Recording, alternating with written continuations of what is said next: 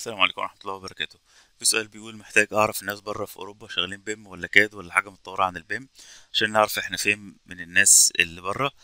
بص يا سيدي الفاضل لو أنت عايز تعرف أي حاجة فممكن تدخل على LinkedIn LinkedIn ده بتاع الوظايف فتشوف الناس طالبة إيه. يعني مثلا أنت عايز تخش تسافر بريطانيا فبتخش على تقول له أنا عايز أعمل search على الناس اللي طالبة الوظيفة مثلا مهندس معماري في في بريطانيا.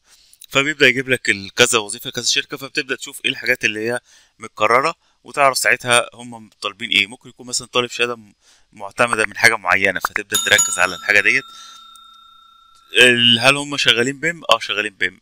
شغالين CAD. ال CAD بيساعد جنب ال BIM بس الأساسي إن أنت تكون شغال BIM أو هو التركيز عليه كده و CAD بيبقى حاجات بسيطة مساعدة يعني.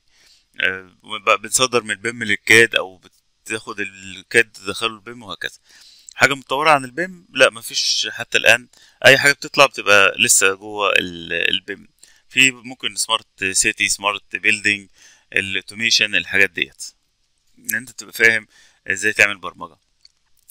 آه، هل كل الشركات في العالم شغالة Revit لا في ناس كتيرة شغالة ببرامج زي ال ArchiCAD شغالة ب Open Building شغالة ب Allplan فلازم تشوف يعني Allplan مثلا منتشر في ألمانيا فتروح بتلاقي ناس ملتزمة بالحاجات ديت فممكن تعمل تخصيص للوظائف اللي موجودة في دولة ألمانيا تشوف إيه الناس طالبة إيه وتبدأ تقرر. أنا ساعات بعمل كده آه، فأكتشف مثلا إن في كذا إعلان مركز على برنامج وليكن مثلا اسمه ايس كاد إيه ايس كاد ده؟ طب ما أخش أدور عليه أقعد أدور عليه وأفهمه وأعرف الابديت وأشرحه على قناة بيم اربيا